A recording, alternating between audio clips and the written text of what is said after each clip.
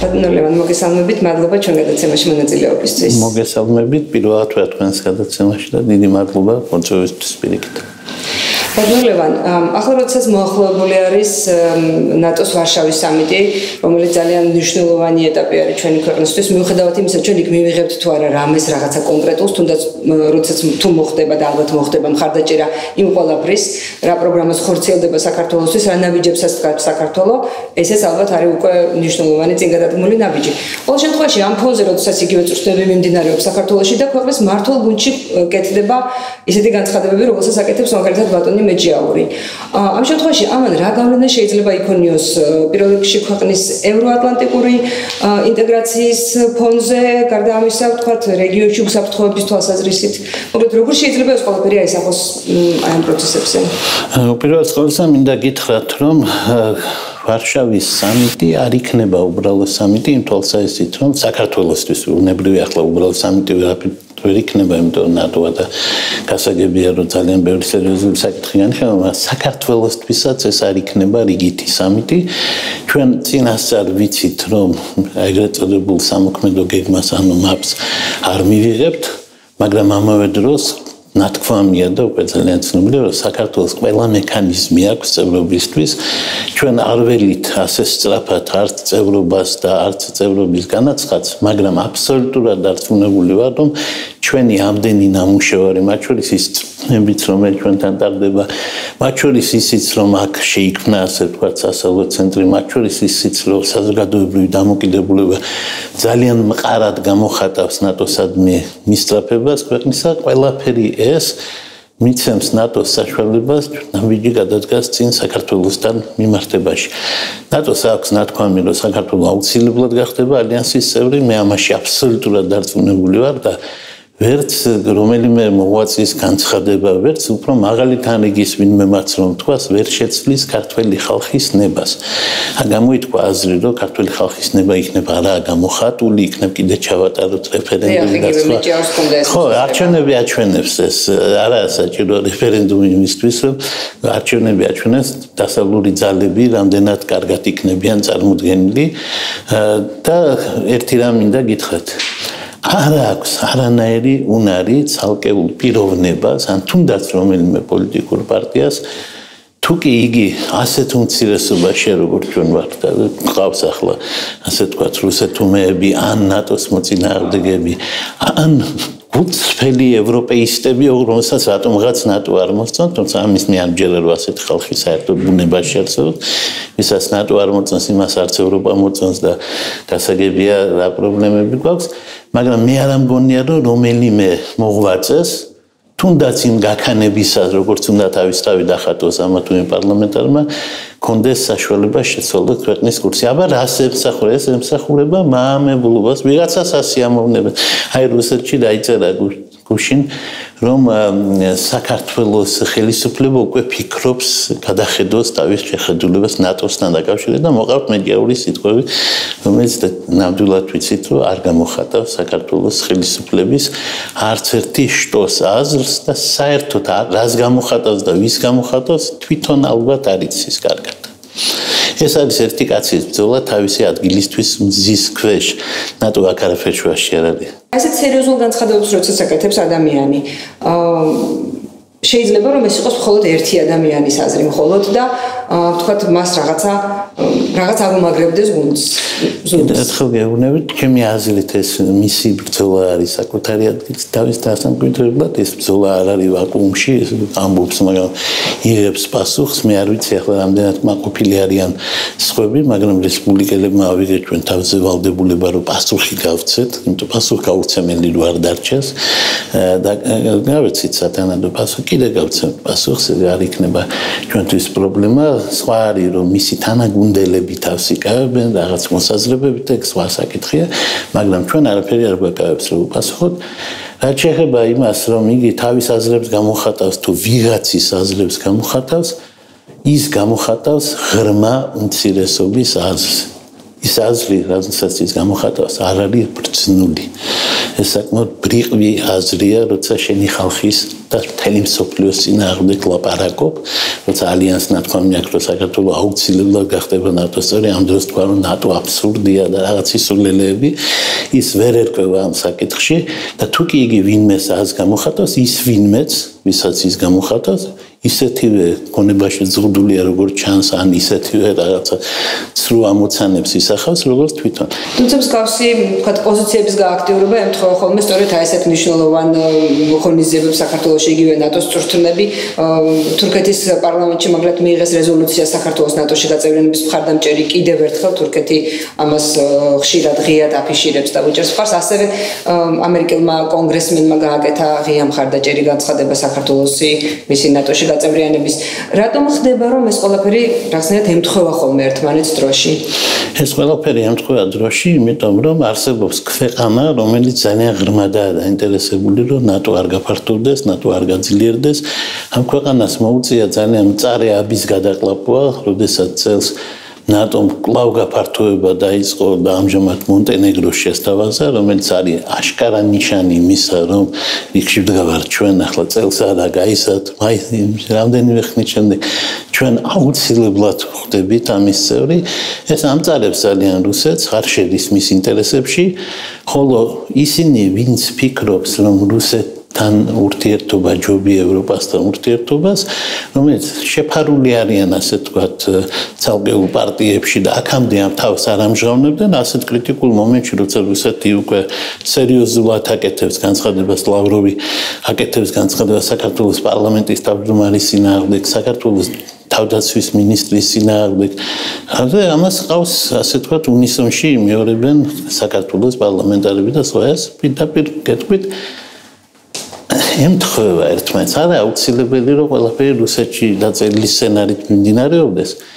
მით უმეტეს ნაკლებად დამაჯერებელია რომ ეს კაცი თქვა აგენტი იყოს რუსეთისა, იმიტომ რომ ცოტა პირადი ინიციატივა. მე ვფიქრობ, რომ აგენტები ცოტა სხვანაირად მუშაობენ, გაცილებით უფრო პროფესიულად, შეფარულად, ასე თავს არ იმჟღავნებენ და ასე თავს არ იმცრობენ და ასეთი სასაცილონი არ არიან ხოლმე.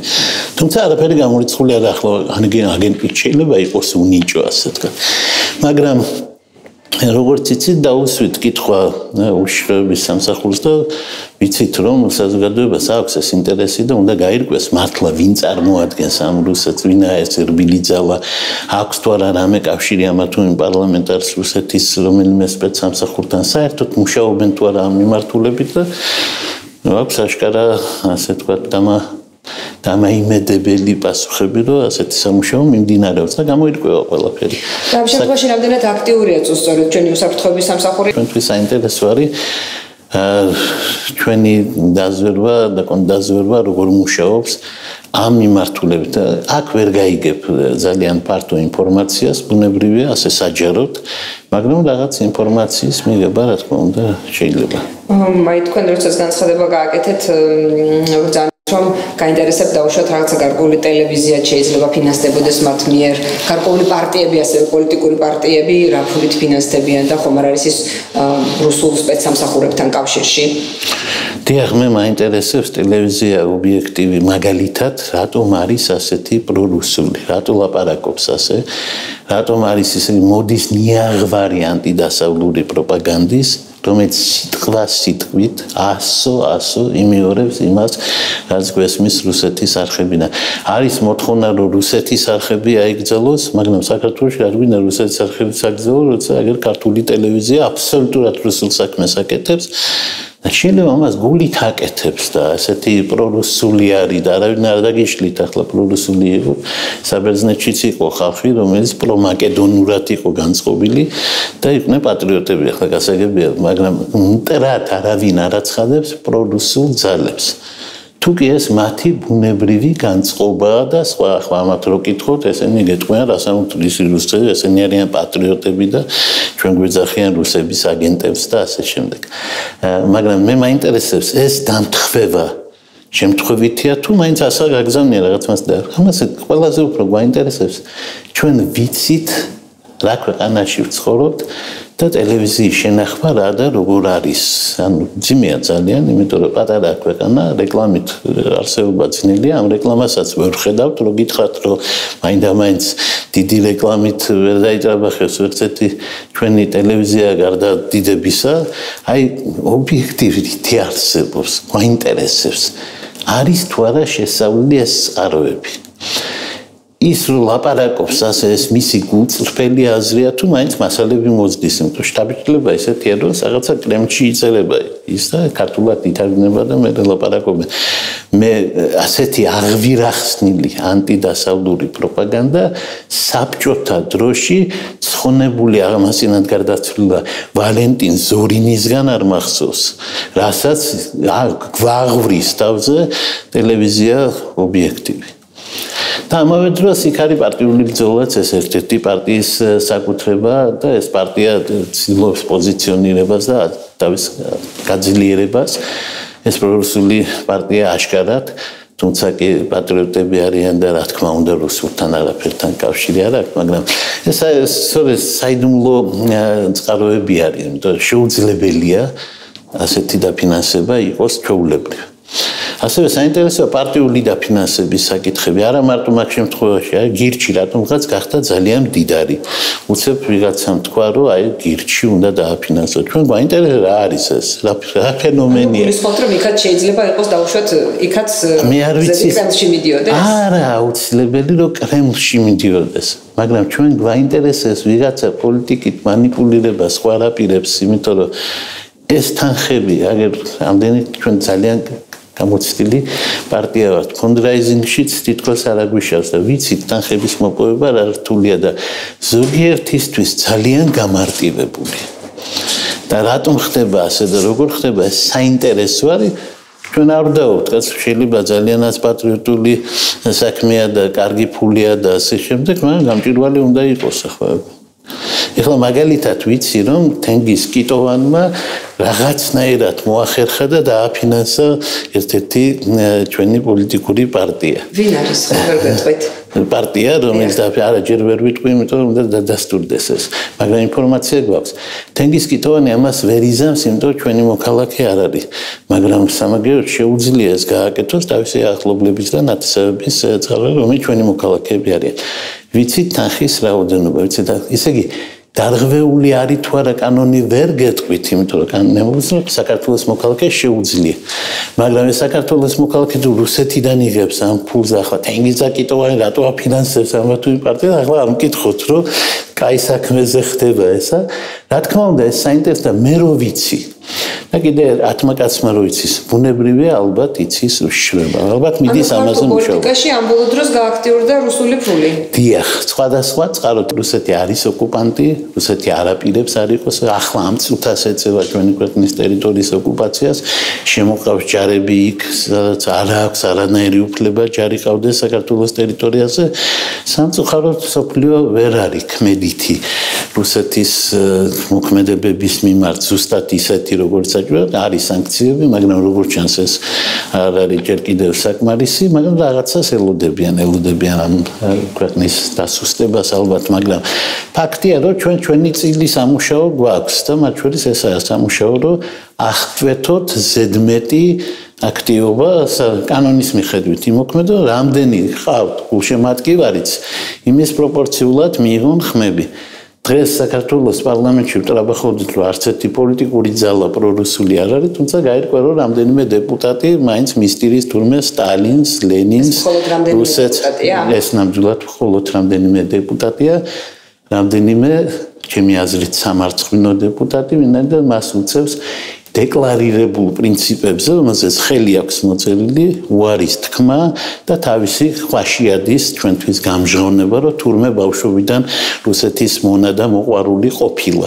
იმიტომ ეს ხალხი რაღაცნაირად სადიყავით და როგორ ვერ ხედავთ და სადიყავით და თოფაძე ამბობდა, რომ უნდა რუსეთი და უნდა ევროპა და უნდა ნატო. და მას ხელი აქვს მოწერილი. სად ვიყავით და აგერ ძმა იყო ჩვენი და ჩვენთან ერთად იბრძოდა მიხეილ სააკაშვილის რეჟიმის წინააღმდეგ და ქონდა დასავლური ღირებულებები. თურმე ამას ხელს კი აწერდა, მაგრამ გულში ამირან თავისთვის რუსეთი რუსეთიო მღეროდა, ხო ჩვენ როგორ უნდა ჩვენ ყოველთვის ვიცით რომ პოლიტიკაში ვინ რას ფიქრობს, არასოდეს არ არის ნიშნავენ ნიშნავენ რას აცხადებს და როგორი პოლიტიკური ხაზი აქვს. ჯერ აქამდე ამათ კონდა დასავლური პოლიტიკური ხაზი.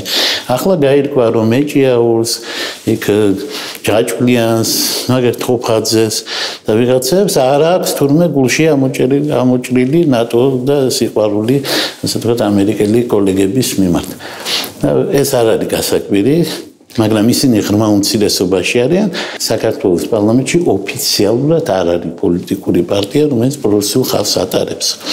არაოფიციალურად ვიღაცას გულში რაღაც კონიათ მომავალ პარლამენტში შესაძლოა იყვნენ ადამიანები იმ პარტიებიდან რომელიც ოფიციალურად აცხადებენ თუ მოხდა ნინო ბურჯანაძე და მისი პარტია მაგალითად თუ მოხდა ირმა ინაშვილი და მისი პარტია მაგალითად ესენი პირდაპირ იტყვიან რომ ნატო არ უნდათ და ესე ჯობია საერთოდ ჯობია როცა იცი თავიდანვე რომ ასე ფიქრობს რომ დამოკიდებულება ქონდა. ყოველ შემთხვევაში ალიანსში მაინც არ შეხვა მასთან ამიტომ არ იყო ღიად არის დეკლარირებული მაგალითად დიახ ამიტომ არ იყო გასაკვირი რომ საქართველოს პრემიერ-მინისტრმა თქვა რომ გამარჯვების შემთხვევაში ამ ორ პარტიასთან არავითარ შემთხვევაში არ შევა არანაირ პოლიტიკურ ალიანსში. ეს მოსაწონია ბუნებრივია იმიტომ რომ წინასწარაა ცნობილი რომ ინაშვილი და ბურჯანაძე პოლიტიკური თვალსაზრისით აი ამ პარტიისთვის კეთროვანები არიან არ გაეკარო.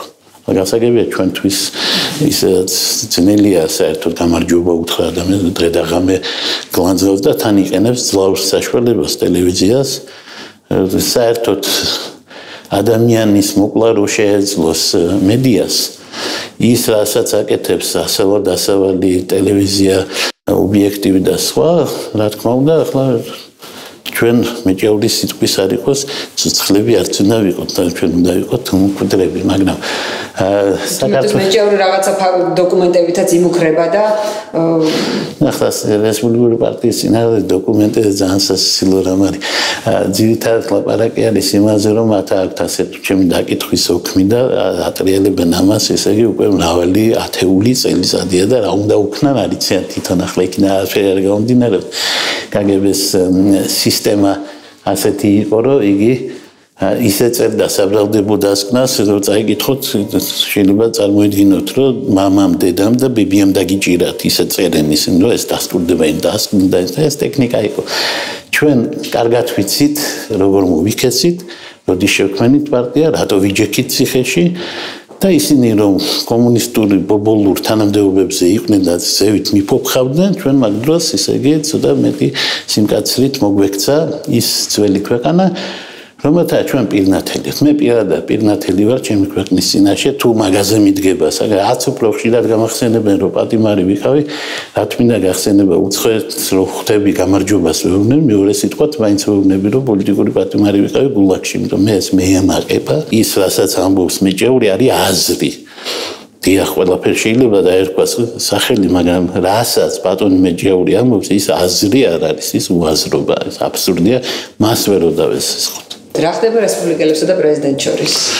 ცოტა გასაოცარი იყო პრეზიდენტის მხრიდან ეგ ამბავი, იმიტომ რომ მან შეკითხვაზე მეჭაური თუ რესპუბლიკელები თქვა ორივე ერთიაო და ანუ ერთი ნაგავიო დაახლოებით ესე გამოვიდა უნისონში მებძოდნენ მეო და სხვა ეს არ არის სიმართლე. რესპუბლიკური პარტია ყველაფერს აკეთებდა, რომ პრეზიდენტის ინსტიტუტი ყოფილიყო დაცული და რესპუბლიკელები ესწრებოდნენ მის გამოსვლებს, რესპუბლიკელი მინისტრები ყოველთვის ესწრებოდნენ მის გამოსვლებს და რესპუბლიკელი დავით უსუფაშვილი ყველაფერს აკეთებდა, რომ ბატონი პრეზიდენტი, რომელსაც პირველ პრემიერთან მოუვიდა კონფლიქტი, მეორე პრემიერთან მოუვიდა კონფლიქტი, არ მომხდარიყო მისი იზოლირება. ამის შემდეგ ღირსეული ხალხი ამბობს მადლობას. მადლობა უნდა ეთქვა თუ პარტიისთვისა და დათო უსუფაშვილისთვის მაინც. მაგრამ თქვა რომ თელი ამ ხნის განმავლობაში ვერავინ ვერ დაინახა ადამიანი კიდე კარგი ერთი და უნახავს ეს არის პრემიერი კვირიკაშვილი. ეს ახალი თამაში არის, იმიტომ პრემიერი კვირიკაშვილის პარტიას აგინებს და პრემიერ კვირიკაშვილს აკეთებს. და რესპუბლიკა როგორ ფიქრობთ? აი რატო გააკეთა მე ფიქრობ რომ ძალიან არასწორი არაობიექტური განცხადება რატო გააკეთა? მას ხვდები. მას ყავს პოლიტიკური მრჩეველი რომელიც მუდმივად უხსნის მას, რომ ის არის, უნდა იყოს ისეთივე დიდი პრეზიდენტი, როგორიცაა სააკაშვილი, თუმცა მისი უფლებები კანონებით შეზღუდულია და ყველა შეხსენება.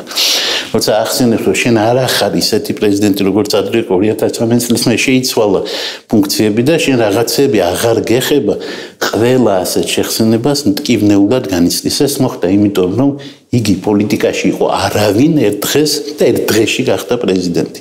მას არ გაუვლია ეს კიბეები ეს საფეხურები ის არ ყოფილა პარტიული. ანუ ის არა არა პოლიტიკოსი იყო და დარჩა. და შეცდომა მაშინ იმ გუნდის რა თქმა უნდა შეცდომა იყო შეცდომა იყო საერთოდ არა პოლიტიკოსის დასახელება და წინ წამოწევა ეს რა თქმა უნდა შეცდომა იყო. როცა გნებავთ მაშინ დაესვა ჩემთვის ეს კითხვა მაშინაც გეტყვით რა თქმა უნდა შეცდომა იყო შეცდომა არის რა? შეცდომა არის არარაობიდან რაღაცის შექმნის სურვილი. თუ ადამიანს არ გაულე შეცდომა იყო მიხეილ სააკაშვილის მიერ სკოლის მერხიდან კაცის მინისტრად დანიშნა. ზუსტად ასეთი ამბავი იყო. მარგველაშვილი არასოდეს არ ყოფილა არც ერთი პოლიტიკური პარტიის წევრი. მან არიცის ხალხთან ლაპარაკი. მან არიცის ურთიერთობა. პრეზიდენტი როგორ შეიძლება აგინებდეს რომელიმე პოლიტიკურ ძალას? რომელიმე ჩვენსაც კი არა, საერთოდ რომელიმე. ის ხო იმის პრეზიდენტი არ არის მარტო რა ქვია, ვინც მოწონს. ის ხო ყველას პრეზიდენტი პრეზიდენტი ხო მაინც არის ახლა მე არ მომწონს მარგველაშვილი მაგრამ პარტიის სამ პრეზიდენტის ინსტიტუტს და იმ დონეზე ვცემ პარტიის რამდენიც განუსაზღვრა მას საქართველოს კონსტიტუცია თუ იგი მაგალითად დაიბნა და ვერ გამოაცხადა სწორად არჩევნების თარიღი მე გავაკრიტიკებ. აბა, ჩემი მეტი რა საქმე მაქვს, მე პოლიტიკაში ვარ, იმისთვის რომ ვიღაცა გავაკრიტიკო. ამის გამო მან თითზე უნდა დაიხვიოს წენა, რას ქვია ეს გენიოსია შეუნცდარია. როგორ იქნება შეუნცდარი? პირველად გავს პოლიტიკურ ნაბიჯს და პირდაპირ პრეზიდენტის პოზიციიდან. თუ შეიცვლის ტაქტიკას და თუ თელ პოლიტიკურ სპექტრს გალანძღავს, ახლა როგორი პრეზიდენტია ნახეთ. ნაციონალები გალანძული ყავს, ქართული ოცნება გალანძული ყავს. ირმაინაშვილი იმედი არ უყვარს. ბურჯანაძე კი იყო მაგპარტიისთან თანამშრომლობაში შემჩნეული ადრე, მაგრამ არ გიждდება იმაზე რესპუბლიკელები გალანძღა და ვინ დარჩა ამ სპექტრი, არ ვიცი, უკვე მარტო არის თვითონ და ხუხაშვილი, ეს ორნი არიან მარტო დანერი პრეზიდენტობა ეგ. პიროვნებას ასახელებს, რომ აი იმასთან კარგად ვარ. და თანაჩენი ამხელა სახელმწიფო ამდენი მოქალაქე პრეზიდენტისგან რო ელოდება დაცვას და სხვა ისევ თავდასხმის ობიექტია. მე თავიზოზდე შოქში ჩამაგდო სააკაშვილმა, როდესაც აგენტად დამასახელა. ანუ იმის მაგვირად რომ დავეცხავ ვიღაცისგან, აქედამდე ესე იგი ბრალი, ხო და ესეც გზაზე დგას, ისე იმის მაგვირად რომ ვიღაცებს გადაეფაროს რაღაც საკითხები განიშილოს ამბოს მე ვარ მაგარი და ყველა იდიოტია. უკაცრავად ასეთ პრეზიდენტის მიმართ რანაირი იქნება დამოკიდებულება ინსტიტუტი ისევ დარჩება რომ მობძანდება პარლამენტში თუ ვიქენით ამ პარლამენტში კიდე დავესწრებით კიდე მოკვდებით მთქნარებით იმიტომ ერთი საღი აზრი არ უთქვამს ცხოვრებაში პოლიტიკას იმიტომ არ არის პოლიტიკაში გარკვეული თუმცა პრეზიდენტი როდესაც იწვევს პარლამენტს და უნდა გამოვიდეს პარლამენტში და დაესწრონ თუ არა, თქვათ მის გამოსვლას უმრავლესობის წევრები, ministrები, დიახ, უნდა დაესწრონ და ჩვენ ყოველთვის ვესწრებოდით და ჩვენი ministrები არასოდეს არ აცდენდნენ. აქ პრეტენზიები სხვებთანაა, ვინც ამას აკეთებდა, მაგრამ ჩვენ ვესწრებოდით და პრობლემა აქ არისო. მაგრამ იმასაც ნუ ვერ დავმალავ, რომ არაფერი საინტერესო აზრს არ უთქვამს. მიხეილ სააკაშვილს რო ესწრებოდით ხოლმე რაღაცა ცირკს მაინც მოახსენდა ხოლმე და უცებ იქ გაიშვა და ხელზე იქ ვიღაცა წამოდგებოდა დაჯდებოდა რაღაცა და იყო ამბები ან ყველანი ციხეში რაღაცა ემოციური ერთი მსახიობის თეატრს მაინც ჩაატარებდა. აგ არაფერი ესე იგი და ძალიან ცუდი მსახიობიც არის უნდა გითხრათ. და კიდევ ერთხელ როცა იცი რომ არ უყარხარ და არავინ არ უყარს დედამიწის ზურზე გაირკვა რანა რაღაც რა უნდა გააკეთოს ახლა თქვენ სასარგებლო. ხომ არა რომ რაღაც გარკვეულ პერიოდში როდესაც იყო პრობლემა მინისტრ კაბინეტსა და პრეზიდენტის ინსტიტუტ შორის რაღაცნაირად მის დისტანცირებას და თქვა ესეთი მთავარი პოლიტიკური მოვლენებიდან ჩამოშორებას ცდილობდნენ და მან მაშინ იგრძნო რაღაცნაირად გარიყულა იცით რა გარიყულად იგრძნო თავი იმიტომ რომ საქართველოს კონსტიტუცია მას არ ესმოდა როგორც ჩანს იქ წერია რა ეხება და რა არ ეხება და უფრო მეტი საღება უნდა თავის თავზე ვიდრე კანონში წერია. და ასეთი რამ შეიძლება მოხდეს კაცმა თავისი ავტორიტეტი, შეიძლება რამე მოიპოვოს, მაგრამ არა აქვს ეს ავტორიტეტი და ახლა აქ ისეთი ამბავია, რომ ავტორიტეტი თანამდებობით არის შოება. ავტორიტეტი შოება სვანაერად. მაგალითად პარტიებს არ უნდა აგინო, არ უნდა ჩააფურთხო იმ ჭაში, საიდანაც წყალს სვამ. არ უნდა აგინო იმ ძალებს, რომელმაც იქ დაქსვეს. და ეხლა უკაცრავად, მაგრამ მე დიდხანს ვერ ჩაუტარებ ახლა იმას მით უმეტეს რომ ჩემზე უფრო ჭვიანი ისინი ყავს მრჩეველები, მაგრამ მე ვფიქრობ მაინც რომ საქართველოს პრეზიდენტმა ვერ გაართვა თავი ამოცანებს და ალბათ მეტი აღარ იქნება პრეზიდენტი და დაბრუნდება იქ სადაც მისი კომპეტენცია არის და მას შეუძლია გააკეთოს კეთილი საქმეები სხვაგან. ბატონო ლევან, ცოტა დრო არის დარჩენილი. თქვენ პარტიას რა გეგმები აქვს, როგორ აპირებთ ბრძოლას და საერთოდ როგორი არჩევნები გველოდება? ჩვენ გველოდება არჩევნები, სადაც არ არიან გიგანტები. ადრე იყო გიგანტების ბრძოლა ის თუ ის და მესამე გამორიცხული მესამე იყო. მესამე გზა არ არსებობდა ახლა არსებობს მესამე ლიდერებს გულისხმობთ პარტიებს გულისხმობთ პარტიებს გულისხმობ როდესაც იყო მაგალითად შევარდნაძე აბაშიძის ბრძოლა სხვების ადგილი ამ ბრძოლაში არ იყო როდესაც იყო ოცნებასა და ასე თქვა სააკაშვილის შორის ბრძოლა სხვების ადგილი აქ არ იყო და ვერც ვერავინ ვერ მოხდა პარლამენტში. ახლა ასე არ არის.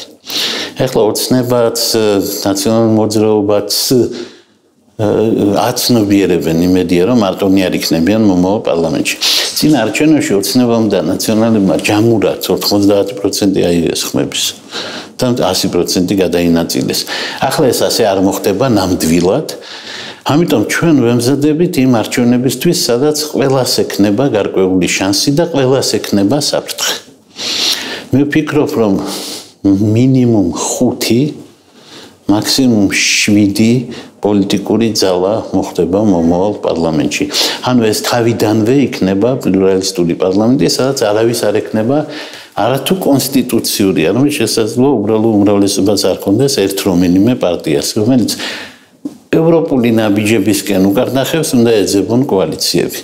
ანუ კოალიციით კი არ მოვლენ პარტიები, არამედ მეરે შეეცდებიან კოალიცია შექმნან, რაც და 5-7 და რას მებრძანეთ პრო დასავლური უფრო მეტი იქნება ვიდრე პრორუსული? თუ 5 იქნა, იქნება მარტო პრო დასავლური და თუ 7 იქნა, ორი პრორუსულიც იქნება, ასეთ ეჭე. განგისაუბროთ კიდევ პარტიების მე მე არ ვარ ვანგა და ახლა მე ვერ ვიცასე მე ჩემი სურვილი გითხარით, 5 თუ იქნება, იქ არ მინდა ინაშვილი დავინახო.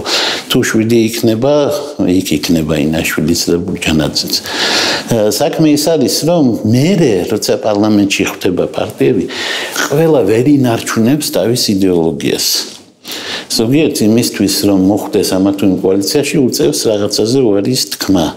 ანუ არსებობს მოქნილი პოლიტიკური ძალები და მე არ ვარ დაწუნებული რომ ყველა პრორუსული ძალა ბოლომდე პრორუსული იქნება შეიძლება მოატყუონ თავისი რუსი მეგობრები ახლა.